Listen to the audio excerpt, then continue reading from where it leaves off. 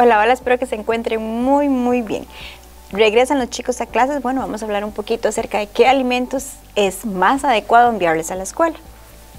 Eso se llaman los, o los alimentos que nosotros vamos a enviarle para los recreos son las meriendas. Entonces vamos a hablar acerca de la importancia de estas. O bueno, por lo menos qué es lo que ellas hacen. Van, normalmente se busca que una merienda proporcione energía y nutrientes al niño, y nutrientes que vayan a ser importantes para lograr un adecuado crecimiento y desarrollo. El sistema gastrointestinal no está preparado para pasar largas horas sin recibir algún tipo de alimento, por ejemplo, desde el desayuno hasta el almuerzo.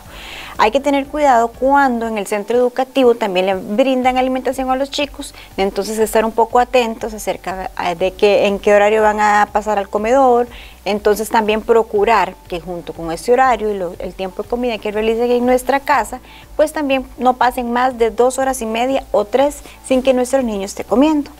También, bueno, pues ya vimos que entonces una, merienda debe aportar nutrientes importantes como carbohidratos, proteínas y vitaminas y además esta merienda debe fomentar hábitos saludables para el futuro de nuestro niño.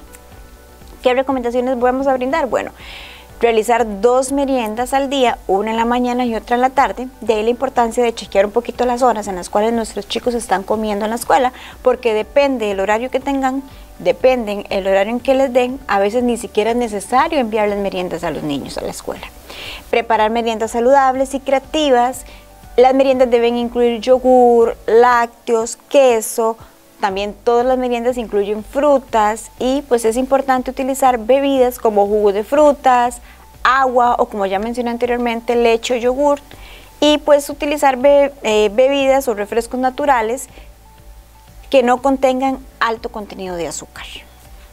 ¿Qué no incluye una merienda? No incluye bebidas con alto contenido de azúcar como néctar y jugos de fruta, leches o zumos, no contiene frutas en almíbar, confites, dulces, chocolates, snacks con alto contenido de sodio y condimentos, cereales azucarados, reposterías, queques de chocolate, galletas de chocolate, bueno. Siempre va a ser importante revisar las etiquetas nutricionales donde los alimentos no sobrepasen por porción los 5 gramos de grasa y además pues los 10 gramos de azúcar.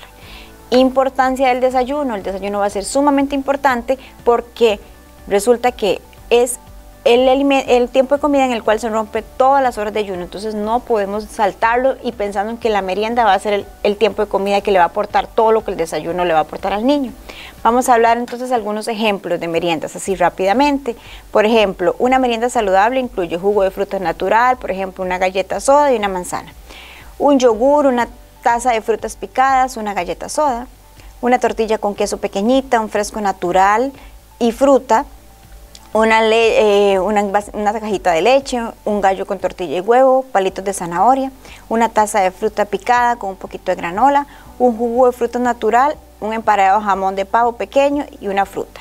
Esos son solamente algunos de los ejemplos que podemos utilizar para enviarle a nuestros niños. Recuerde que una merienda no solamente llena la pancita de nuestros niños, sino además que aporte las vitaminas, los minerales, en fin, los nutrientes que él necesita para seguir su crecimiento y desarrollo. Y eso sería todo por hoy y nos vemos la próxima semana. Feliz regreso a clases.